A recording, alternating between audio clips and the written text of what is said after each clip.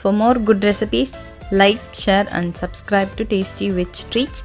And also don't forget to press the bell icon. Hi viewers, welcome to Tasty Veg Treatz.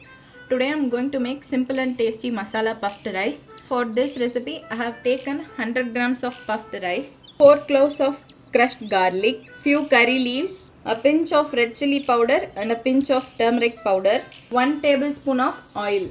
In a pan, adding oil. After the oil got heated, roast the garlic and add the remaining ingredients. Adding the remaining ingredients. At last, add the puffed rice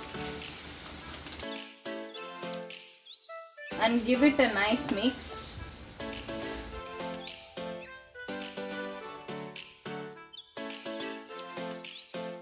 Within a couple of minutes, you can switch off the flame. Our simple and tasty masala puffed rice is now ready.